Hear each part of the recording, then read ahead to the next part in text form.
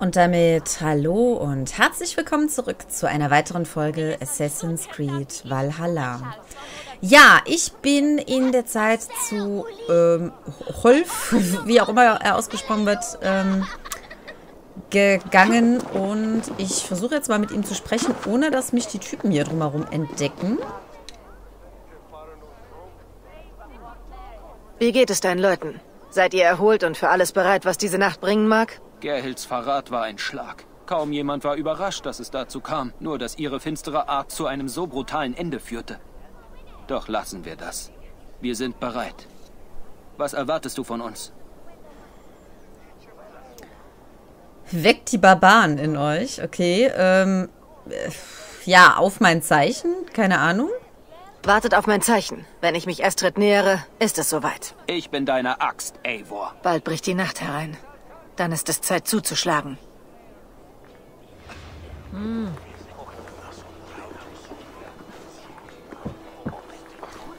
So, dann faken wir mal eine Entführung.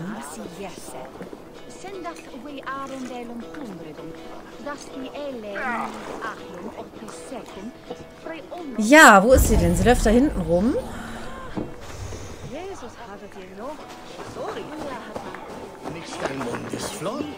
Da, jetzt kommt der Typ hier hin. Entschuldigung. Früher hat man Beo geopfert, damit seine Saat auf das fruchtbare Land fällt und das Getreide erneut wächst. Diese heidnischen Rituale sind mir egal. Jetzt gibt es nur noch Sie läuft da hinten rum. Ich will jetzt, ähm...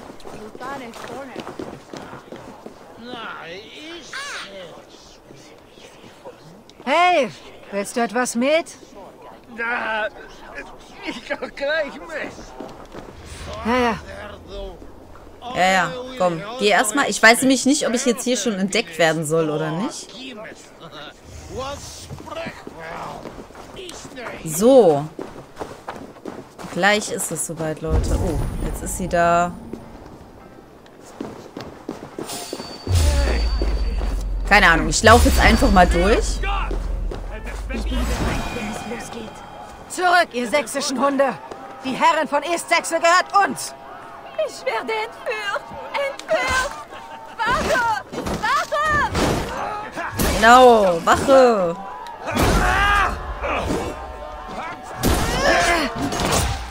Wir schaffen das. Oh, wenn ich diesen Satz schon wieder höre, könnte ich schon wieder kotzen. Echt.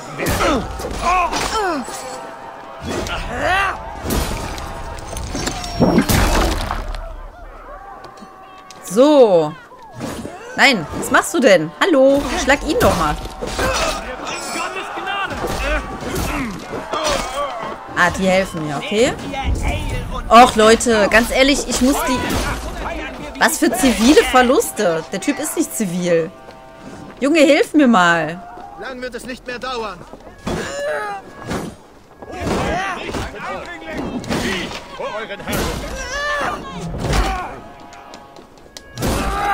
Na los. Zurück, ihr sächsischen Hunde! Die Herren von East-Sechsel gehört uns! Genau, die gehört uns. Oh, Mann. Jetzt hör mal auf mit dem Kram hier und nimm die jetzt endlich mal. Och, ja, ich kann... Ja, genau, jetzt fliegt die ja auch noch Ich rum. nehme mich mit! Oh, lass ab, du deinen Komm, könnt ihr mir jetzt mal Odins Bart. Rückendeckung Im geben? Geheule kannst du kein kleines Kind täuschen. Lass mich los! Unhold! Was Unhold, aus genau. Oh, Leute, nicht euer Ernst jetzt, oder? Nicht erledigt. Nimmt mir doch mal jemand die Leute hier ab.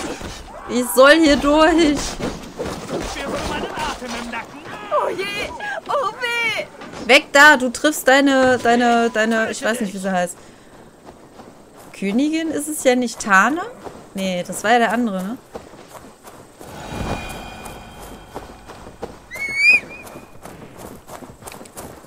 Bleib mal stehen, bleib mal stehen. Nein! Mein Och, Liebster! Mein Liebster! so doch nicht. Leute. So. So geht das. Genau. Besser.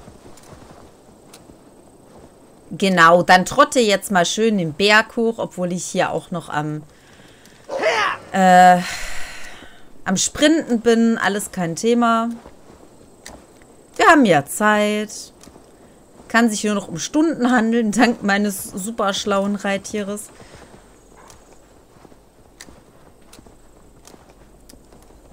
Auch Wölfchen. Könntest du die vielleicht es sollte mal... sicher genug sein, nicht wahr? Oh, wie aufregend. Mein Herz rast. Sei froh, dass es überhaupt noch schlägt. Dein Geschrei hat uns die halbe Stadtwache von Coloncaster auf den Hals gehetzt. Ich wollte eine gute Vorstellung abliefern. Mein Vater sagte immer, ich wäre eine gute Schauspielerin. Auf jeden Fall hast du Hingabe gezeigt. Hat es dir nicht auch ein bisschen Spaß gemacht? Eine Prinzessin entführen? Doch, das war schon aufregend. Eine Frau kämpft tapfer gegen ihre Entführer. Doch was werden sie jetzt mit mir tun? Ist meine Tugend bei euch sicher? Sie ist nicht in Gefahr, wenn du das meinst. Komm schon, Eivor. Du schlägst Elfreds Raufbolde in die Flucht, aber die Neckereien einer Dame lassen dich erschaudern? Wer weiß, wer weiß. Aber sie hat ja schon ihre Freundin. Ups.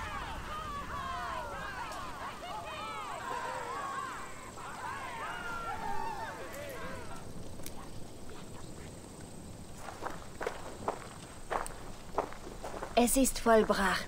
Alles, was jetzt noch zwischen mir und meiner Heimat steht, ist ein schmales Band aus Wellen und Schaum. Gut gemacht, Rolf. Sind du und deine Leute bereit, Segel zu setzen? Lokis fauchender Sohn macht die Gewässer zwischen unseren Küsten gefährlich. Wir sollten ausruhen und auf günstigeres Wetter warten. Passt gut auf euch auf. Selbst wenn Birstands Soldaten nicht nach Estrid suchen, Elfreds Soldaten werden es. Jetzt ist nicht die Zeit für solche Sorgen, Eivor. Heute wird gefeiert. Komm, trink Met mit mir.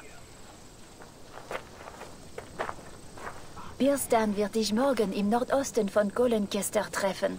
Du hast dir alles verdient, was er dir versprach. Und noch viel mehr. Besuch mich, wenn du möchtest. Fernab der feiernden Dänen. Ich dachte, sie steht nur auf Männer. Bei Thors Donner Ich sollte Birstan finden. Sicher jagt er wieder. Ja, das schätze ich allerdings auch. Ähm, ein Auf und Ab. Oh, wir haben noch Fertigkeitspunkte bekommen. Wann haben wir die denn bekommen? Mitten im Kampf? Weil die letzten habe ich definitiv verteilt. Ähm, dann würde ich sagen, dass wir die Gesundheit mal ein bisschen höher setzen und den Fernkampf ein bisschen höher setzen. Und das ist außerhalb der Stadt, ne? Bei der Jägersfeste. Ja, da würde ich sagen, da reite ich auf jeden Fall mal eben hin. Das geht, glaube ich, einfacher und vor allen Dingen schneller. Und wir sehen uns dann gleich wieder.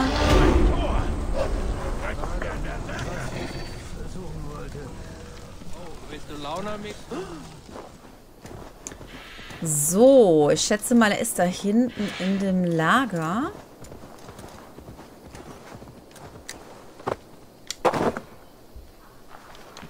Bräuchte von noch welche? Nee. Keine Sorge bedrückt dein Herz, nicht wahr, Parzival? Du sorgst dich nur um deine nächste Mahlzeit, wie ich dich beneide.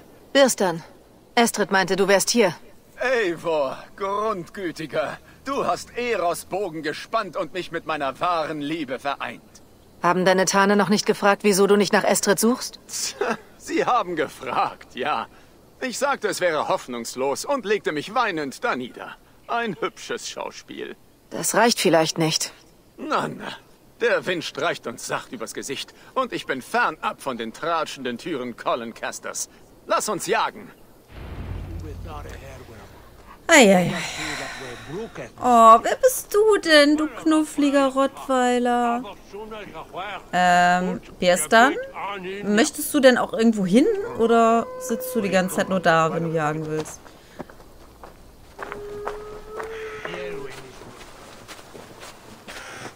Und was genau jagen wir? Einen Eber. Ein majestätisches Tier, nicht wahr? Mit wildem Feuer, flammenden? Augen und tödlichen Hauern. Ich kannte einmal eine starke Schildmaid, die auf einem Eber in die Schlacht ritt. Sie nannte ihn Borstenblitz. Wie wunderbar skurril. Deine Geschichten sind wahrhaft hörenswert. Wir reiten nicht auf unseren Ebern, wir essen sie. Ein Festmahl zu Alfidas Ehren.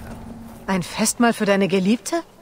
Birstan, wenn diese Täuschung auffliegt, nimmt dir König Alfred deinen Titel. Unser Bündnis wäre wertlos. Sei unbesorgt. Ich werde diskret sein. Wir speisen nur mit ein paar Freunden und Angehörigen in meiner Halle. Dort werden wir unsere Freundschaft besiegeln. Schon so bald nach dem Luchnassad? Wird man mich nicht erkennen? Nein, du bist nur irgendeine Dänin. Wer sollte sich bei all dem Chaos an etwas anderes als die Schreie der reizenden Estrid erinnern? Es sind deine Lande. Ich vertraue deinem Urteil. Wie geht es Alfida? Sie ist feurig. Wir haben unsere Liebe aus Jugendtagen neu entfacht. Selbst Elurik ist eine willkommene Ergänzung. Er ist mir ein jüngerer Bruder und Sohn zugleich. Ah, ich werde ihm so vieles beibringen. Ja, hier ist es. Hier jagt es sich am besten.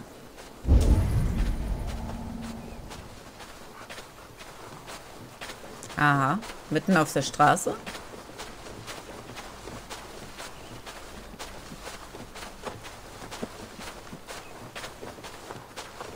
Wieder zum Wasser.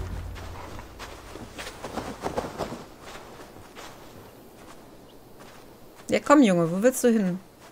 Achso, jage Eber, okay. Da hinten sehe ich schon mal Die einen. Tafel füllt sich nicht von allein. Ja, ja, ja. Da sind sogar zwei.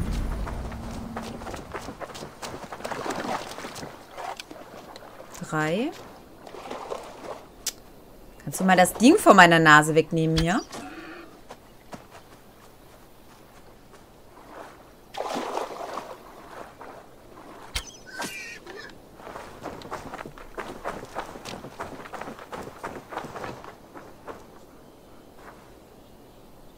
Ah, das ist zu weit weg. Oh, das sind aber wirklich viele hier. Hilfe. Äh, allerdings eigentlich alle recht weit weg. Komm, die Tafel füllt sich nicht von allein. Ja, ja, ja, ich weiß.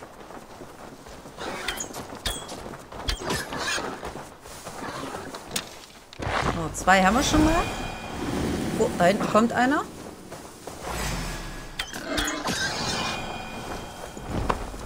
Drei.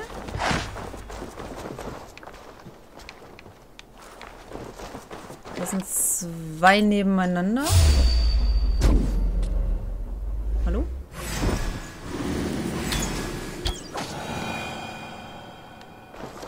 Da sollte eigentlich noch einer laufen.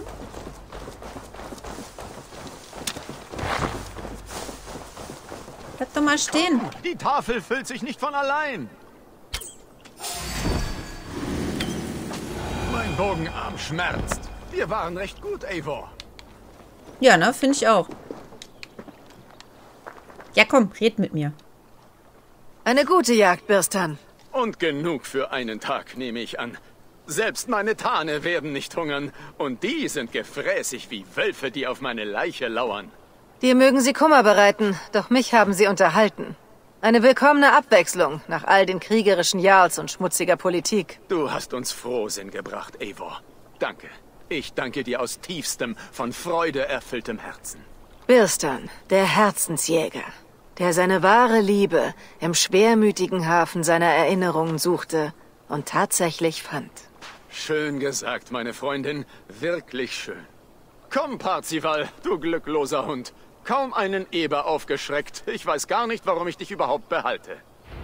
Ja, ich weiß auch nicht, warum ich mit dir auf die Jagd gehe, wenn ich dann am Ende doch alleine jage. Also, das kann ich genauso sagen.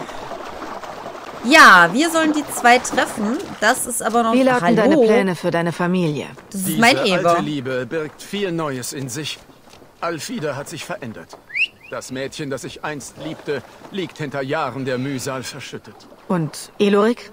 Ein weicher Knabe mit dem entschlossenen Herz seiner Schwester. Dass sie sich so nahe stehen, spricht für sie. Er sieht mich oft sonderbar an. Seine Augen blicken verstohlen und bekümmert, wie ein Hund, der die Gärte des Herrn erwartet. Das bereitet mir wirklich Sorgen. Kann ich zugleich ihm ein Bruder und seiner Schwester ein Liebhaber sein? Gib ihm Zeit, Birstan. Er hatte seine Schwester sein ganzes Leben lang nur für sich. Ja, ja. Aber sag mir, Eivor, bist du dem Zauber meines Vögleins erlegen? Ihr Blick allein kann Knie zum Zittern bringen. Sprichst du von Estrid? Sei nicht schüchtern, das steht dir nicht. Bist du eifersüchtig, Birstan, nachdem du sie verstoßen hast? Natürlich nicht. Ich könnte nicht glücklicher sein. Ich frage mich nur, wie es ihr ergeht. Ich will nur sagen, wie froh ich bin, dass sie nun eine neue Möglichkeit hat, ihr Glück zu finden. Weiß Gott, bei mir fand sie es nicht. Doch das sind düstere Gedanken und ich lasse nicht zu, dass sie die Oberhand gewinnen. Heute Abend speisen und feiern. Oje. Ob die mir wirklich nichts tun, wenn ich bei ihm bin? Okay, anscheinend nicht. Die Frage ist nur, ob mich hier jemand wiedererkennt. Bleib hier. Bleib in meiner Nähe. Du da, auf ein Wort. Ja, das habe ich mir schon fast gedacht.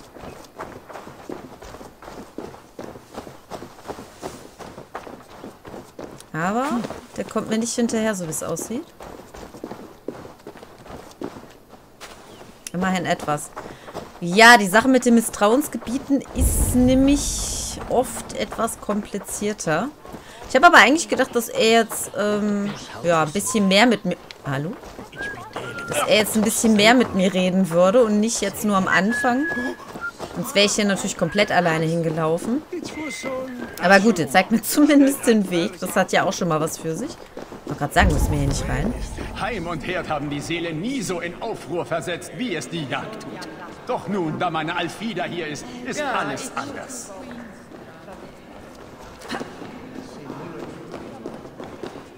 Sie denn noch da? Oder präsentiert ihr sie jetzt hier schon? Oder wie? Ja, sie ist noch da, okay. Birstan, du hast versprochen, wir würden uns nie trennen. Nicht für einen einzigen wachen oder schlafenden Moment. Und schon jetzt schleichst du dich davon zur Jagd. Zum Wohle des Festes, meine Liebe. Wir schulden unserer Freundin viel. Und ich schwor, diese Schuld mit Spanferkel und Ale zu begleichen. Schwester, hast du vergessen, wo du bist? Ich habe ein Recht darauf, glücklich zu sein, Elorik. Oder soll ich auf ewig das Kindermädchen spielen? Du undankbarer Bengel. Glück, ja. Aber du beschämst dich jede Nacht, wenn du bei diesem geilen Bock liegst und schnaufst und schwitzt. Hüte deine Zunge. Sonst kommt so manches ans Licht. Was denn? Dass du zu diesem launenhaften Mann zurückgekehrt bist, der dich vor Jahren für ein fränkisches Liebchen versetzt hat? Dass er dann bei einem schlechten Luchnassat-Schauspiel von dieser Dänin entführen ließ? Sieh dich vor, Junge. Oder dass du dich von ihm begrapschen und ins Bett führen lässt, ohne eine Gegenleistung? Ganz Estsexe tuschelt schon. Er ist noch verheiratet. Seine Frau ist frisch entführt und du bist nicht mehr als seine... seine... Ich schenkte ihm einen Sohn, undankbarer. Sohn? Alfida? Bitte, mein Junge, ich... Das werde ich dir nie vergeben. Niemals. Ups. Oh Herr, welch frohe Kunde. Gott lächelt auf uns herab. Estrid wurde von Elfreds Männern gefunden. Sie sind unterwegs, sie zu retten.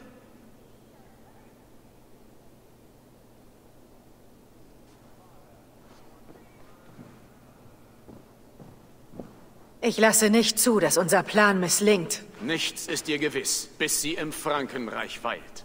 Ich kümmere mich darum und eines Tages werde ich dich rufen und du wirst kommen. Darauf kannst du dich verlassen. Oh je, oh Ich je. wollte es dir sagen. Schon so oft. Still, mein Engel.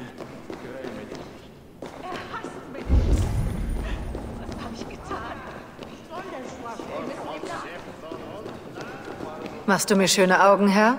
Du bist Birstans Dänin. Glaube nicht, deine Taten wären unbemerkt geblieben. Sag mir nur eins. Ist Estrid sicher und glücklich? Sie ist glücklich. Mehr weiß ich nicht. Gut. Nun geh. Und sollten wir uns wiedersehen, wirst du durch mein Schwert fallen. Okay. Ähm, ja, immerhin wissen alle hier Bescheid, ne? Das hat ja auch was für sich. Oder auch nicht. Ich weiß nicht. Wo müssen wir denn eigentlich hin? Müssen wir raus aus der Stadt? Natürlich müssen wir raus aus der Stadt. Warum bin ich denn immer noch hier in dieser Stadt unterwegs? Also ich werde mal eben schnell hinreisen und hole euch dann gleich wieder hinzu. Bitte, mein Schatz, du musst mir verzeihen. Ich kann nicht schlafen, nicht essen. Mit wem sprichst du? Hier ist niemand. Jetzt sind wir auf ewig beisammen, Frau. Du weißt nicht von meiner Seite, flüsterst mir ins Ohr wie ein Mottenflügel. Wo kommt das Wehklagen her? Es ist, als würden die Wände vor Angst schreien. Dieser Mann wird von einer Missetat heimgesucht. Deine Haut war blass wie Mitternachtsnebel. Dein Haar voll Tau. Augen wie Glas so klar.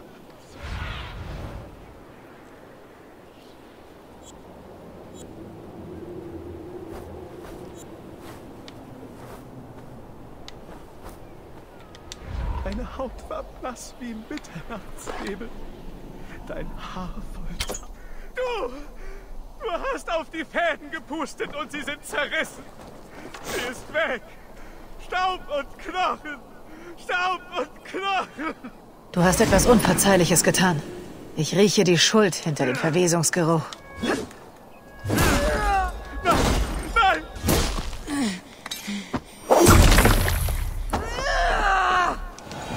Hat seine Liebste ermordet. Kein Wunder, dass ihm die Schuld den Verstand raubt.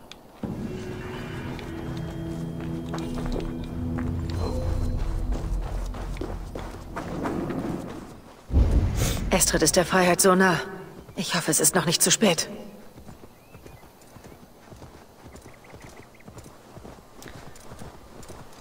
So. Jetzt müssen wir mal gucken, wo wir ihn finden.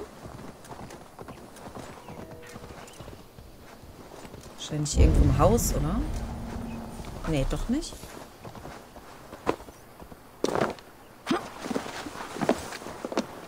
Sprich mit mir. Rolf! Elfreds Männer sind auf dem Weg! Was? Wie kann das sein? Log, bleib bei Estrid. Schütze sie mit deinem Leben.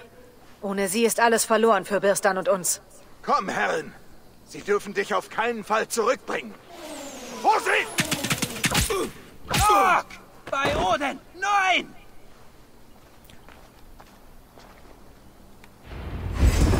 Gebt die Frau heraus, Dänen! Wenn sie unverletzt ist, lassen wir euch vielleicht leben! Da kommt die Dreckskerle! Schützt die Es!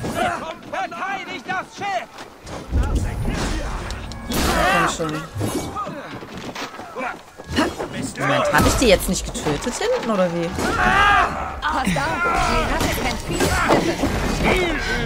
Hallo, du solltest stampfen. Halt dich doch nicht immer mit dem gleichen auf hier. Gott verflucht! Der Schweiß der Schlacht fließt. Äh, das ist geil. Ich bin hier so viele am Töten und trotzdem zählt er das irgendwie nicht.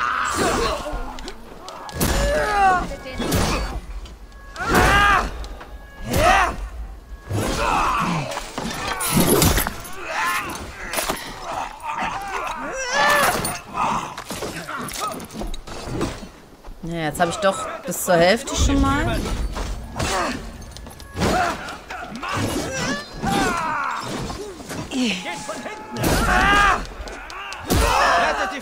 Die Frau des Aldermanns!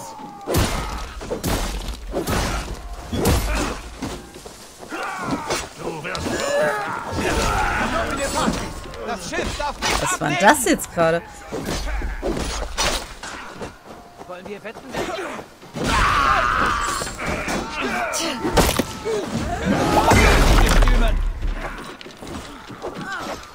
Wieso funktioniert das nicht mit dem Waffewerfen?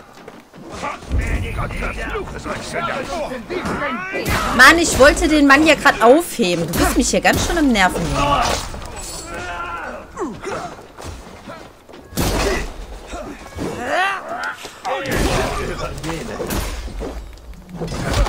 Seid klug. Bringt euch nicht in Gefahr. Hallo, darf ich den mal aufheben? Hallo.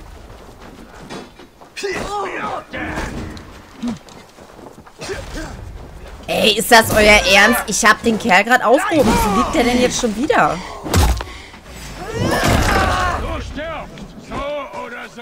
Junge, was ist los mit dir?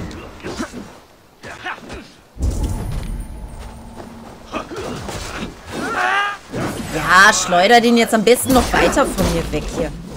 Wie wär's damit? Du bist schon so gut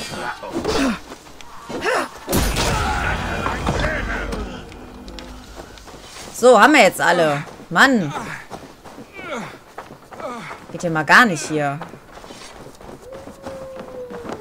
Eivor! Ja, Estrid, das bin ich. Ich versprach dich, aus deinem Leben in Westsexe zu befreien. Das Land der Franken erwartet dich. Geh mit Ägiers Segen. Du wirst mir fehlen, Eivor. Ist der Winter vorüber, folgt der Sommer und wird dich in ein Kleid aus Blumen hüllen. Denn du bist die Schönheit und sollst nicht vergehen. Göttin Freya, gib mir mehr davon. Komm, pass gut auf sie auf, tapferer Rolf. Sollte es euch erneut nach Englerland verschlagen, erwarte ich euch in meiner Halle.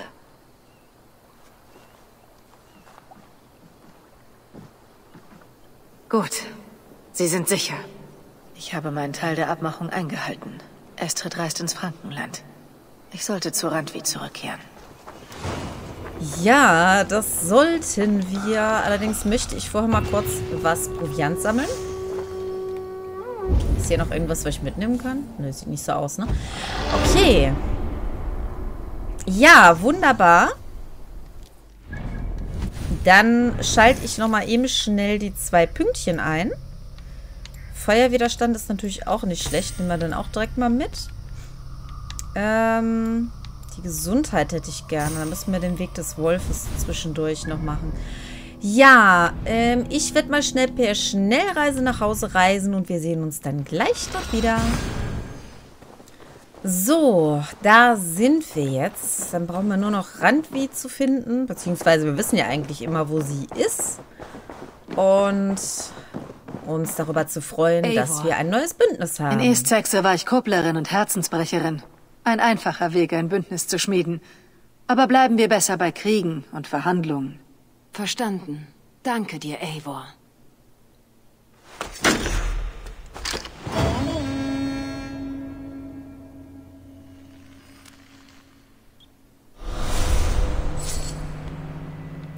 Aber hallo, hier so geht das aber natürlich nicht, ne? Wir können jetzt nicht einfach hier mit ihr sprechen äh, und ihr sagen, wir sind hier Herzensbrecher. Da müssen wir sie auch küssen.